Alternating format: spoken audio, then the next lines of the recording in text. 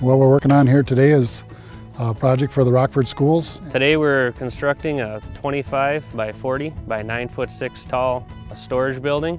This is a code building. This building has an engineered stamped set of prints from our engineer in-house and we're all squared away as far as permit issues. Went for our project, we start out, we start by reviewing the prints. A few days ahead of time, we call the customer, make sure that they know we're coming. Utilities are located, so we don't have to worry about that first day on the job.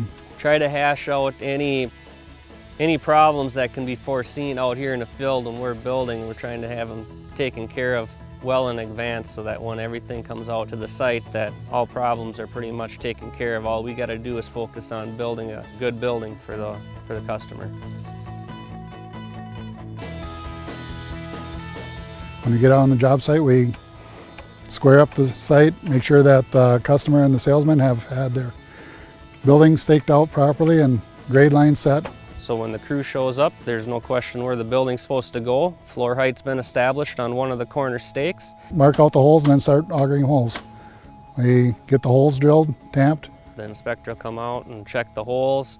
And from there, shortly after that, we'll have the concrete truck come in. It'll take a few hours for the concrete to set up. We'll be staging material around the job site. We'll be laying out poles, stakes for anchoring our poles, boards to measure from pole to pole.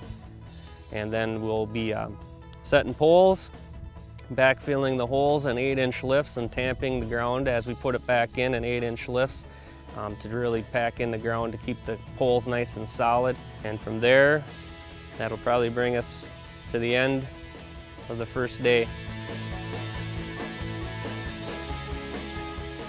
Start installing our safety equipment, our safety cable, our plank brackets will go on and we'll start laying out plank down the sides of the building and from there they'll be um, basically erecting the building off the scaffold. Cut our poles at an angle at the top and it matches the roof pitch. We put an insert block in that goes right to the required height to where that truss location needs to be. We install them. You put your first rafter up, there'll be some straightening to do, some bracing that we'll need to do, get everything straight, level. After the second rafter, everything's straightened, braced, and kind of solid. We'll put the truss lock screws in, get that so it's all secure, and then after that we'll get our eave nailers and bird netting and eave trim on so that we can get ready for roof.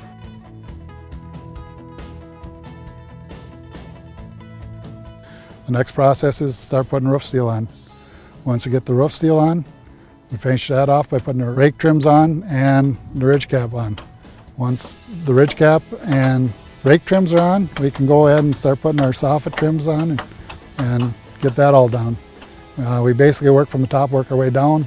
Once the wall steel's on, we basically have trims around walk doors and overhead doors to install and then finish up with corner trim and some of the other little fine details.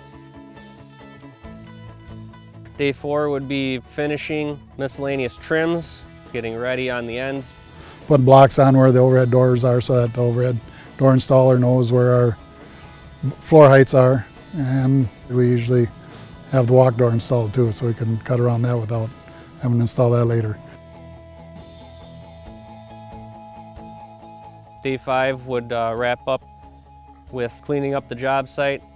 I usually go around the building and take a look at all the workmanship, make sure everything's done correctly, and after that we do a final check with the customer to make sure that it meets with their approval and, and get that signed off and we're done and we get to go to the next one. Well, it's always nice to see when you're done what, it, what it's like and then it's always nice to see a happy customer with what he's got now and, he, and you know he's going to be enjoying it for a long time because it's quality built and it's got to look straight and good because I know customers are going to be looking at that for a long time after it's done.